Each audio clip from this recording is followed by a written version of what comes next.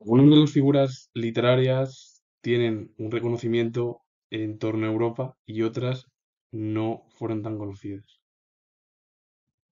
Stephen F. Wave nació el 28 de noviembre de 1881 en Viena, en Austria, y murió el 23 de febrero de 1942 en Petrópolis, estado de Río de Janeiro, en Brasil.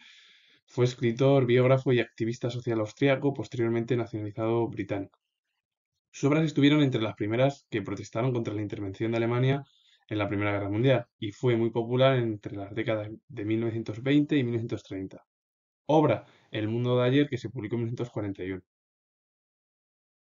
Charles Baudelaire nació el 9 de abril de 1821 en París, en Francia, y murió el 31 de agosto de 1867 en París, en Francia. Fue poeta, ensayista, crítico de arte y traductor francés. Paul Verlaine lo incluyó entre los poetas malditos de Francia del siglo XIX, debido a su cultura bohemia y de excesos y a la visión del mal que impregna su obra.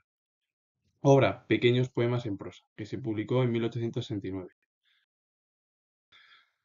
Paul Verlaine nació el 30 de marzo de 1844 en Metz, en Francia, y murió el 8 de enero de 1896 en París, en Francia. Fue poeta francés, perteneciente al simbolismo, en la parte de la lírica y una diversidad de tendencias que muestra un mundo literario donde está todo mediado por la metáfora y la alegoría. Obra, poemas saturnianos, que se publicó en 1866.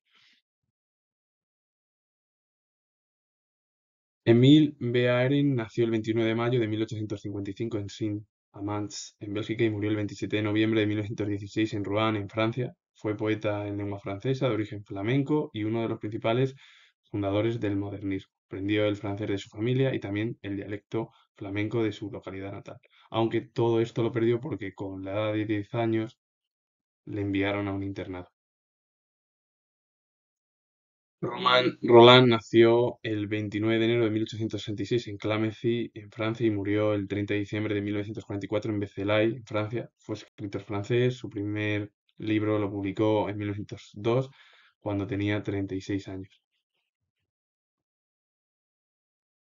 Frank Wedekind nació el 24 de julio de 1864 en Hannover, en Alemania, y murió el 9 de marzo de 1918 en Múnich, en Alemania.